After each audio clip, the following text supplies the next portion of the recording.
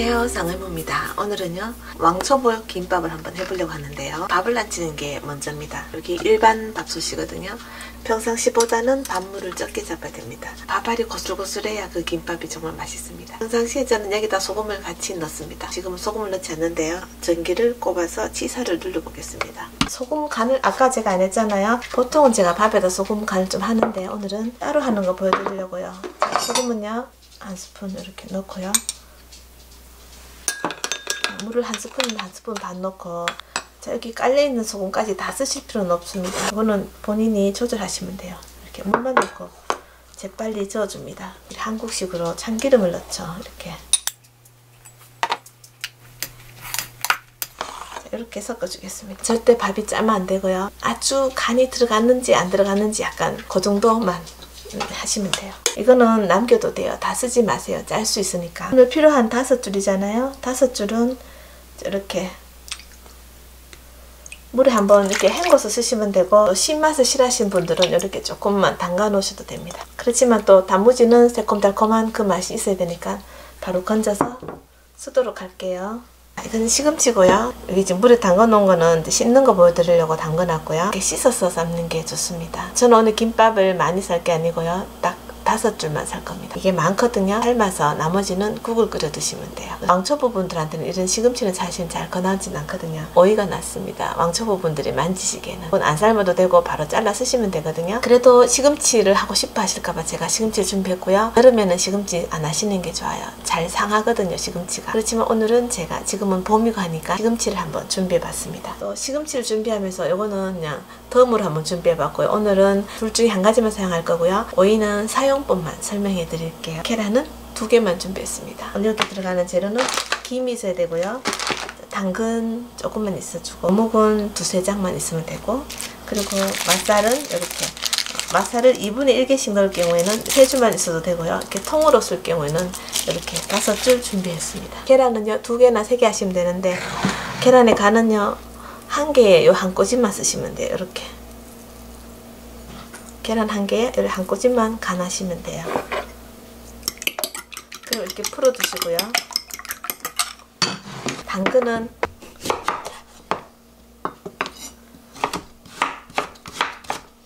이렇게 이렇게 굵게 썰어 넣겠습니다.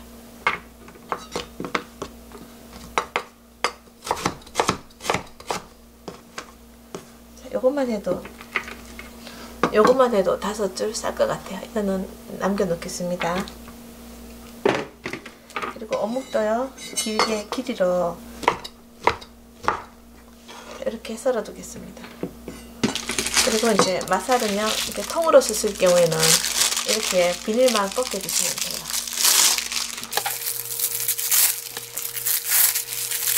오이를 쓰실 경우에는요, 이걸 보통 우리가 오이는 이렇게 소금 이렇게 묻혀서 이렇게 씹는 거 아시죠? 이거는 오이 사이사이에 이제 이물질 같은 거 끼는 거 빼려고 하거든요. 저 같은 경우는 이런 이거는 오이 전용 수세미, 그러니까 채소 전용 수세미입니다. 이거는 이제는 오이나 이런 거를요, 이게 쓰는 전용 수세미거든요. 그래서 이렇게 문질러서 쓰면은 고석고석 깨끗하게 씻어집니다. 아니면 이렇게 소금을 문질러서 이렇게 씻어야 됩니다. 오늘 오이는요, 껍질을 쓸 거거든요. 자, 오이는 제가 깨끗하게 헹궈왔고요. 오이는 김밥 길이만큼만 쓰시면 돼요. 김밥 길이만큼만 쓰시면 되고 껍질 부분만 이렇게 오이는 이렇게 껍질 부분만 쓰면 되는데요. 절이시지 마시고 생으로 그냥 쓰시는 게 좋아요. 절이시면 물 생기고요. 생으로 쓰면 물이 안 생기거든요. 오이에 간은 안 돼 있어도 다른 채소에서 이미 간이 돼 있기 때문에 그냥 쓰시면 돼요. 오이는 그냥 이렇게 잘라주시기만 하면 됩니다. 저는 오늘 시금치를 쓸 거기 때문에 이제 준비 다 됐습니다. 이거는 시금치는요 제가 헹궈서 삶아 보도록 할게요. 자 이제 물이 끓잖아요. 여기에 당근은 보통 볶으시잖아요. 이렇게 살짝 데쳐도 상관없거든요. 오늘 좀 굵잖아요 저는. 그래서 이렇게 끓이는데 만약에 채를 썰어 삶을 때는 넣었다 바로 빼야 됩니다. 이렇게 바로 열만 가하고 빼내도 충분하거든요. 당근을 건져내면은요 그 다음에는 시금치를 넣겠습니다.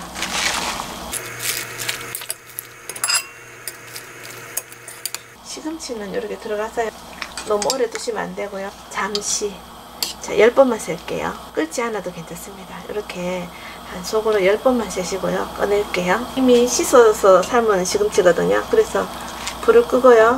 10번만 셌으면 꺼낼 때 바로 이렇게 찬물에 담가서 식힙니다.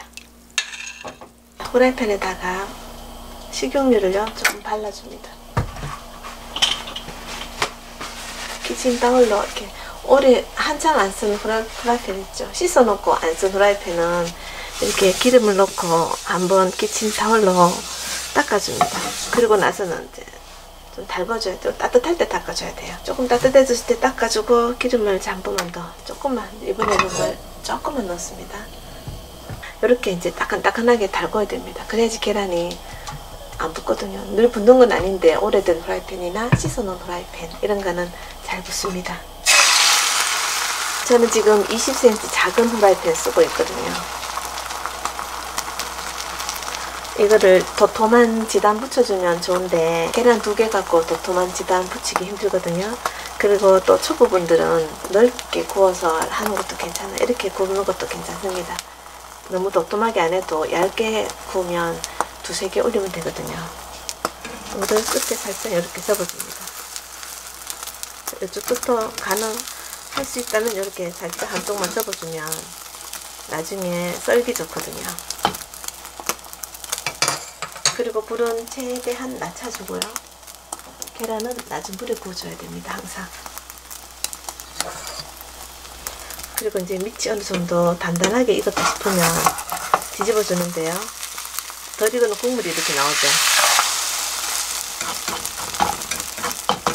그래도 이렇게 어, 끝이 좋으면 다 좋다. 이런 식으로요. 마무리만 잘하면 완벽합니다.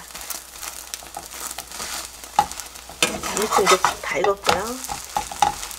자, 이렇게 하면 다 익었습니다. 한 번만 더 자, 뒤집어주고 이렇게 계란은 도마 위로 바로 이렇게 올려놓고 오겠습니다. 맛살입니다. 기름을 조금만 둘러주고요.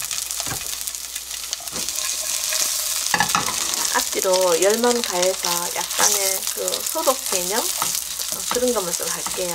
이렇게 살짝 익혀줄게요.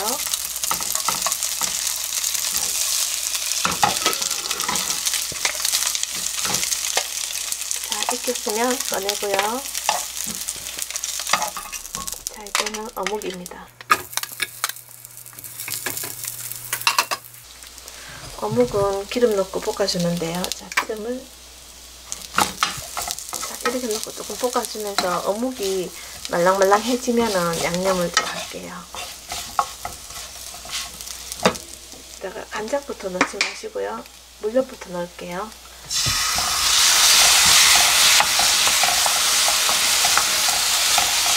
그리고 진간장은 반 스푼만 반만 넣고요. 오늘의 포인트는 바로 고추장입니다. 고추장으로 간을 할 거거든요.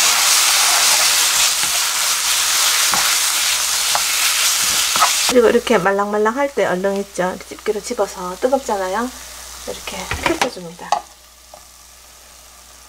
다 묻혀서 드실 거면은 다 짜서 같이 묻혀서 되는데요. 오늘 쓸 거는 딱 요것만 해도 김밥 다섯 줄. 꼭 짜서 한 주먹만 있으면 됩니다. 보통 우리가 김밥 하면 이렇게 길게 묻히잖아요. 근데 김밥은 굳이 길게 안 묻혀서도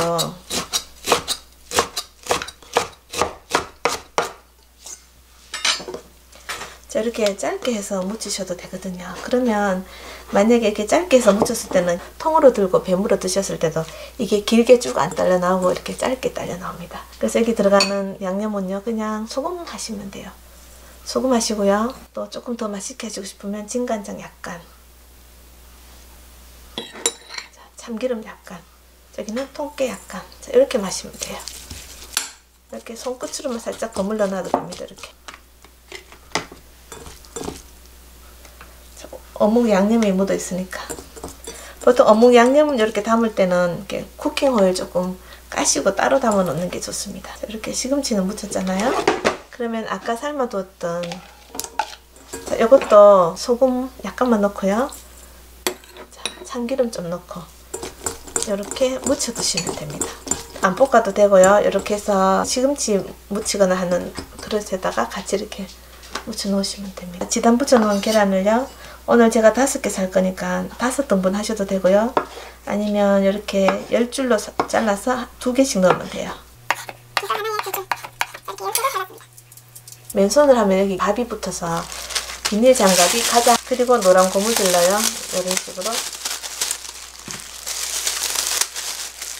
딱 튕겨줍니다.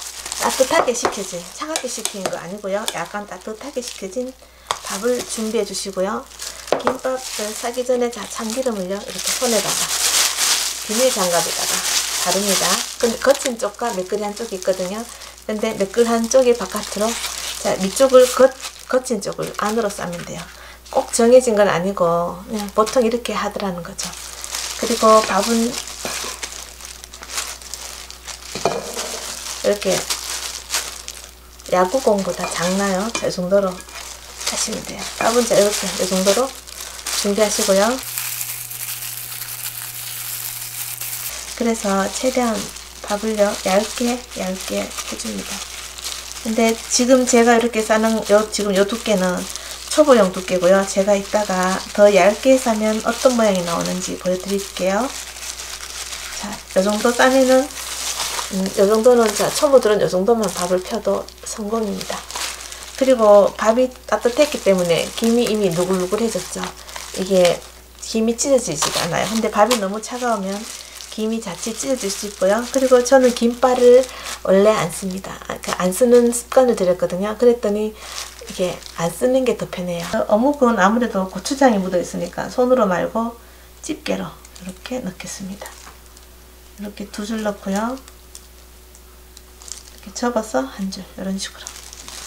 그리고 당근 넣어주시고요.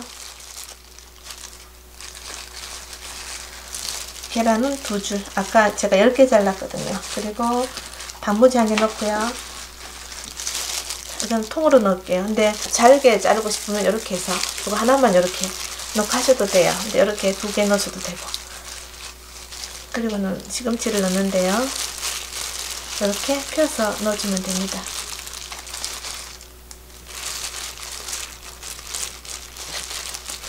자, 차례대로 그냥 순서 없고요. 막 넣으면 되고 만약에 아까 제가 오이 얘기했잖아요. 이건 절여지지 않은 생오이인데 그냥 이렇게 넣으시면 돼요. 저는 그냥 요 시범으로 넣을게요. 평상시에는 시금치 하나로 아니면 요거 하나로 근데 오늘은 요거 두 개를 한번 다 넣어 볼게요. 자 이렇게 해서 쌌는데요. 밥을 이렇게 접어주면 돼요. 네, 밥과 밥이 이렇게 만나면 됩니다. 밥과 밥이 이렇게 만나면 되거든요.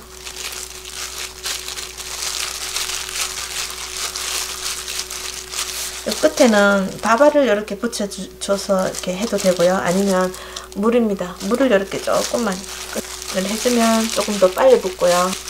여기 찢어진 거는 김이 찢어져서 그런 거예요. 이것도 이따가 또 기술적으로 자를 수도 있습니다.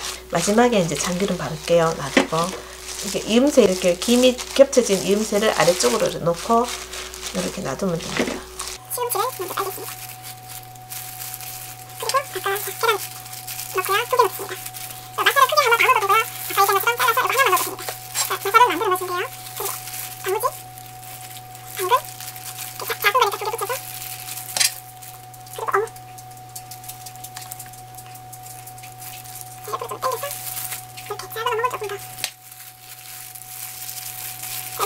그리고 어묵 김이 이미 노글노글해졌거든요. 그래서 이렇게 만져도 김이 안 찢어지거든요. 그러면 물을 조금 찍어서 끝을 이렇게 살짝 발라줍니다. 그리고 돌려주고요. 이 돌려준 이음새 있죠? 이걸 아래쪽으로 이렇게 놔두면 수분에 의해서 붙습니다. 이렇게 놔두시면 돼요. 이번에는 밥을 조금 더 적게 해서 더 얇게 한번 싸볼게요. 밥을 저렇게 엉성하게 담아도 되나 싶을 정도로 얇게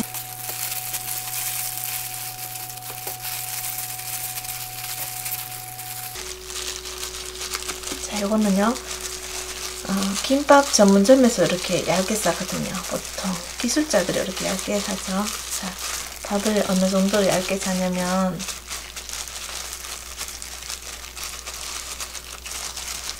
자, 제가 비교 하나 더 싸볼게요. 비교해서 자, 이번에는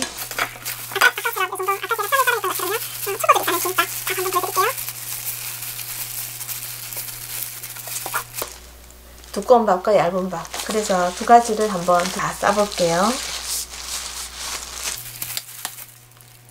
순서는 아무것도 상관없는데 또 양념을 밑에 집어넣겠다 싶으면 양념을 밑에다가 넣을게요. 그리고 당근, 당근, 시금치, 자, 시금치 넣고요. 그리고는 단무지, 단무지. 자, 마타는 그냥 통으로 넣어줘도 되고 이렇게 잘라서 넣어줘도 되고. 계란 두 줄. 그러면 이렇게 따볼게요. 그리고 요거는 이제 요거는 좀 얇은 김밥이죠. 그럼 요것도 이렇게 쌀게요. 다 만들었잖아요 그러면 이렇게 참기름을 발라줍니다. 좀 코팅을요 골고루 쭉 이렇게 다 해줘야지 김밥이 김밥이 조금 덜 풀어지거든요. 김밥 오래 되면 김이 막 풀어지잖아요. 이렇게 해야지 김밥이 오래 이렇게 수분이 유지돼요 깨를 바르고 싶잖아요. 그러면 참기름을 이렇게 발라놓고 깨를 발라야지 붙어 있습니다. 안 그러면 안 붙어 있거든요. 두꺼운 김밥과 얇게 넣은 밥을 한번 차이를 한번 보여드리려고요. 아까 제가 얇게 사는 김밥이고요. 두껍게 산 김밥. 이렇게 김밥은요.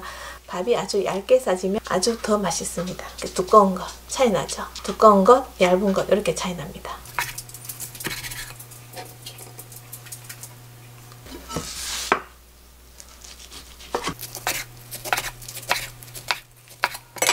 자, 옆구리 터져가는 김밥 있죠? 그 터짐과 터짐 사이를 이렇게 잘라줍니다. 그리고는 요 정도 넉넉하게 이렇게 잘라줍니다. 자, 그러면은 요 한쪽만 터졌으니까 이게 풀어지지가 않고 그대로 드실 수 있습니다. 이렇게 해서 약간 터지는 이렇게 터졌는 김밥은요, 이렇게 잘라주시면 이대로 유지가 됩니다. 왕초보 김밥이 완성되었습니다. 감사합니다.